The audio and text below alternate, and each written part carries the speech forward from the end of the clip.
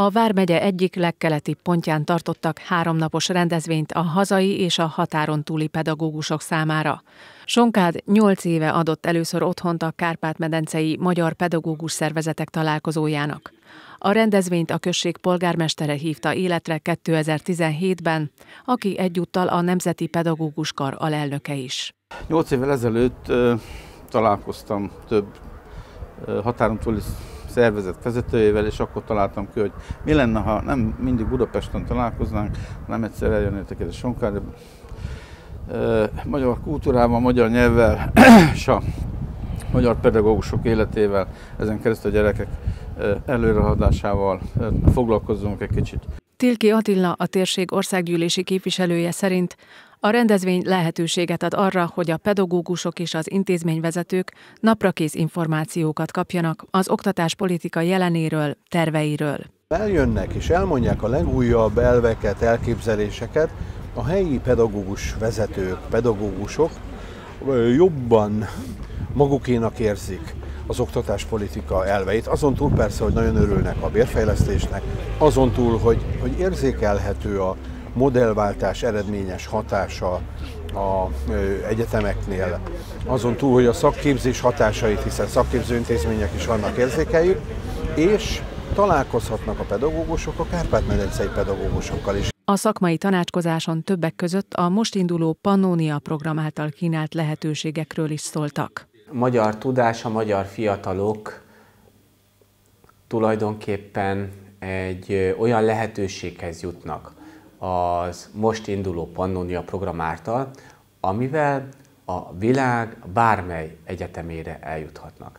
10 milliárd forintból úgy számoljuk, hogy nagyjából 8000 fiatal diák, oktató, kutató juthat el olyan nemzetközi egyetemekre, olyan külföldi egyetemekre, amelyek akár Európán belül, akár Európán kívül helyezkednek el, és a világ vezető egyetemei mi több, Havi szinten 350-500 ezer forint ösztöndíjat biztosítunk, mi több, a teljes külföldi tanulmányi időszakot elismerjük a fiataloknak.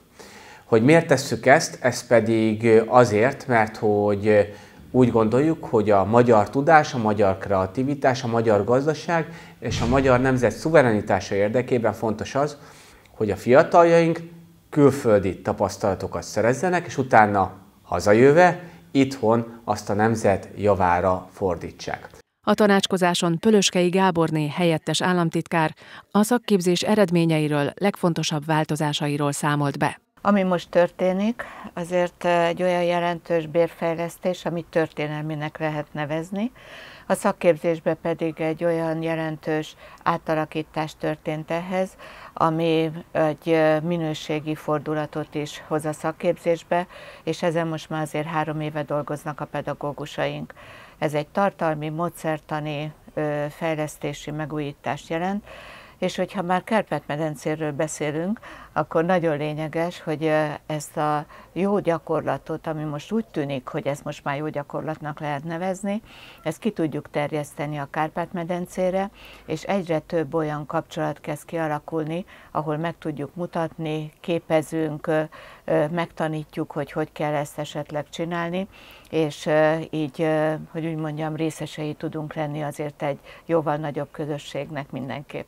Sesták Oszkár, a Vármegyei Közgyűlés elnöke elmondta, eredményes volt az oktatásban korábban véghez vitt központosítás, amelynek célja az iskolák közötti esélyegyenlőség megteremtése volt. Tehát az a kormányzati szándék, hogy az iskola fenntartóként az állam megjelenjen az iskolák életében, az ez jó irányba halad, és az esélyegyenlőség nőtt.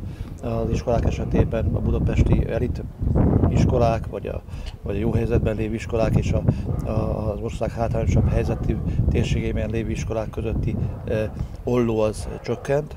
Ezt meg kell állapítani finanszírozási szempontból és eredményesség szempontjából is. A Kárpát-medencei Magyar Pedagógus Szervezetek találkozóján az elmúlt években közel 4000 pedagógus vett részt.